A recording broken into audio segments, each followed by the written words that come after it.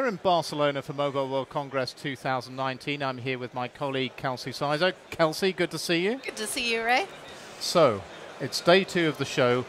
Who have you been speaking to today, and what have you been speaking to them about? I know you've been to see AT&T, so let's start with them. Yeah, I spoke with uh, Roman Pacewicz and Mike Zeto yesterday with AT&T. Oh, this was yesterday. Okay. Oh, yeah, that was yesterday, and then today I talked with Orange with Didier Duriez. I think I said his name right. I'm sure it'll I've be been fine. practicing.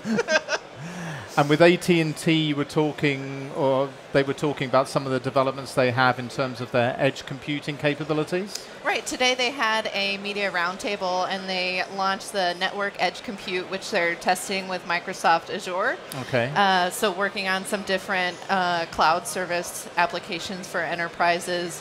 Uh, they talked about working with an Israeli-based startup uh, that develops drone technology. Uh, they mentioned that you know in some cases you might not want a drone in certain areas. So by working with AT&T, they can then signal to the authorities when a drone is maybe flying over an area it's not supposed to be in. Okay.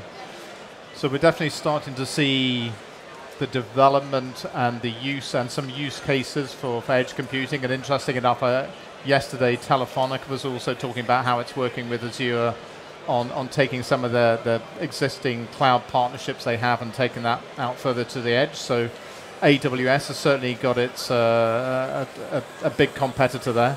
Um, and AT&T also talking about SD-WAN, is that right?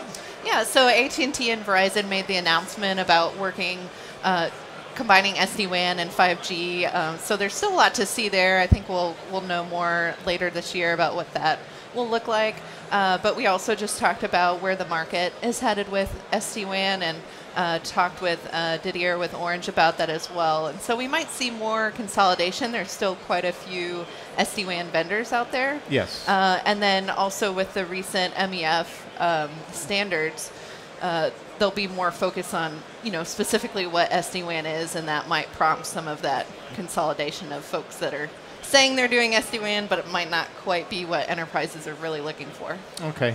But I guess they're all still talking up SD-WAN as a, a, a growing business for them and something that's helping them to deliver more services to enterprises that enterprises actually want and can afford, I think, probably. Right, that's a great point. Um, a lot of, in my conversations today, they spoke about how, uh, Orange, for example, how enterprises are really driving the conversation and decisions that telcos are making around SD-WAN. It's really prompted from their customers and what they're demanding. For example, uh, Orange currently works with Cisco Viptela, but they're looking for perhaps another vendor to work with as well to address some new enterprise use cases.